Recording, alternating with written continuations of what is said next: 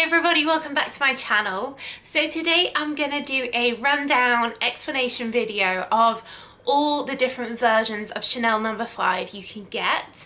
Um, I totally get that it's quite confusing when there are perfumes with the same name but different versions, different sizes, different bottles and it's like, okay, so which one do I want to buy here? Like what's the difference? So that's kind of the purpose of this video. If you're new here, then welcome to my channel. It's all about perfumes. I have new videos up every week, so do subscribe if you are a big perfume fan like me. And as always with my videos, the perfumes I talk about will be linked down below for US and UK. So without further ado, let's get into it. So the Chanel number no. 5 fragrance was created in 1921.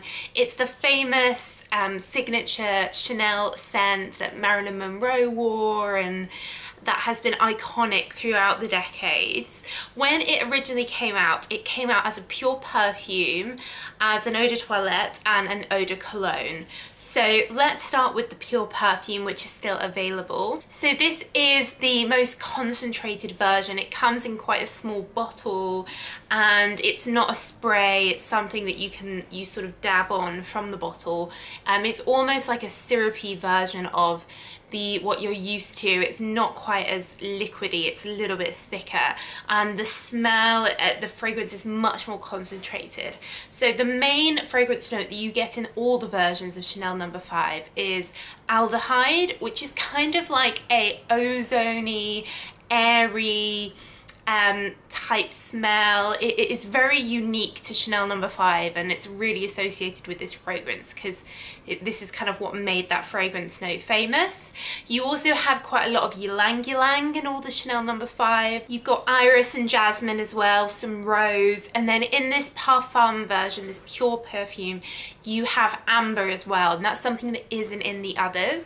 There's a fair amount of woody, mossy notes in here, there's patchouli and there's a note called think civet or civet, um, which is from an animal. So I think that's now been replaced and it's now a synthetic that smells the same, but it gives it that kind of muskiness um, that you get from like animal products and perfume.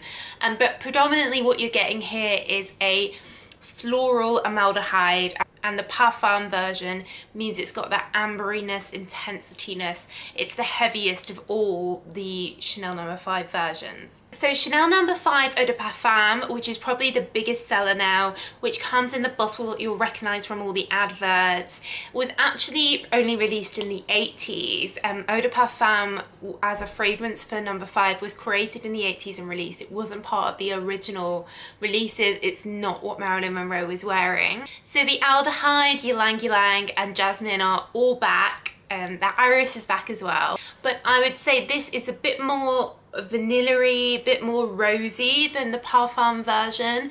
Um, so it is still fairly heavy but it isn't like a a strong aromatic smell it's it's like a heavy ozony floral type fragrance so quite classy, unique. It, it, you know, you get that, that it's Chanel number no. 5 straight away. There's nothing else quite like it and very, very classy. I can imagine someone wearing this walking around Harrods, you know, walking around Knightsbridge, like a very high-end smell.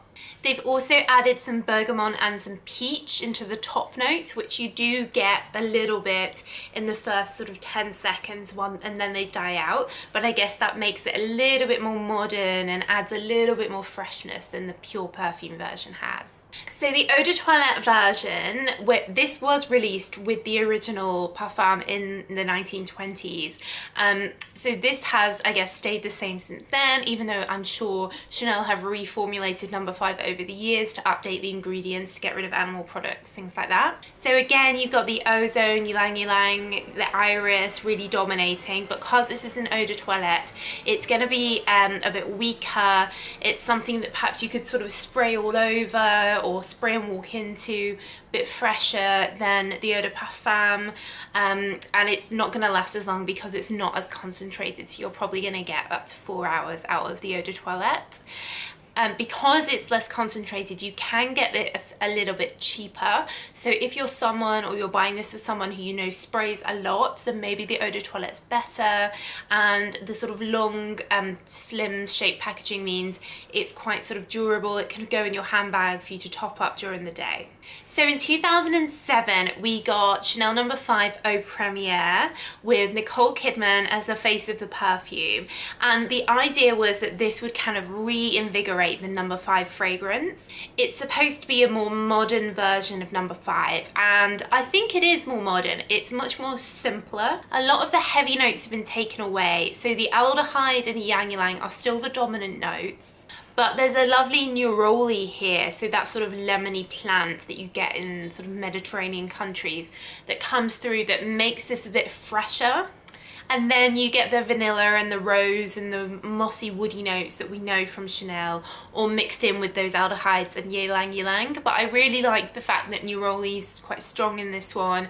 So it makes it, again, um, something you could sort of walk into, spray all over. I think it only comes in a 150ml bottle, um, so quite big. So I think the idea is that you do sort of go for this and spray lots of it rather than the Parfum or the Eau de Parfum where you probably only need a few sprays or a few drops.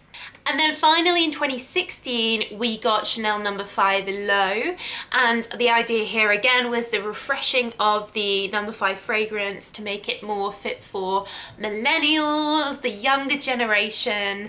I'm not sure how successful that has been, but I think if you do like that aldehyde smell and you do like ylang ylang and you are a millennial, then this will be the perfect perfume for you. And you don't want some of the what's often associated with more old-fashioned notes that are in the um, eau de parfum, the eau de toilette, the original fragrances. So here they've added lemon, orange, lime, bergamot, loads of citrus notes. So when you first spray it, you really do get a citrus hit. It's a classy citrus, it's not a sharp or a like in your face citrus, but you do, in the first spray, it is quite refreshing. Whereas I wouldn't really describe the other versions of number five as refreshing. Then you start getting the aldehydes, the nerolies back, and a musky center. So if you took out that aldehyde, it would be a very like citrusy perfume. But again, the aldehyde is the dominant note, so it is that ozony airiness to the fragrance. The base is cedar, vanilla and rose, um, but they really are um, much more fainter than in the other versions. So it does live up to its name of being sort of fresher and a low version of number five. Um, so definitely want to try if you haven't tried it and um, interesting to compare it to the Eau de Parfum or the um, Pure, Pure Perfume because it is fresher and lighter, it is a little bit more fun and younger. To complement all the number five range, there are a load of different um, body complementary products you can get like soaps, body lotions, shower gels. I think you can also get little purse sprays. So loads of stuff you can do to layer this. Perhaps if you know someone likes number five, you want to get them a gift, um, but you don't want to go into the sort of 50 pounds plus that it's going to cost you for any of the perfumes then perhaps a good option would be to get one of those complimentary body products which are going to be more around the 30 pound mark ish I will leave them linked down below as well. So that's it. I hope you found this useful. Let me know what you think of Chanel number no. 5 and all its different versions. And let me know if you'd like me to do a video like this for any of your other fragrances that you like. I do love doing my range reviews. And I'll leave links below to similar videos um, where I talk through the ranges of other um, well-known perfumes. But that's it. So thanks so much for watching and I'll see you again soon. Bye!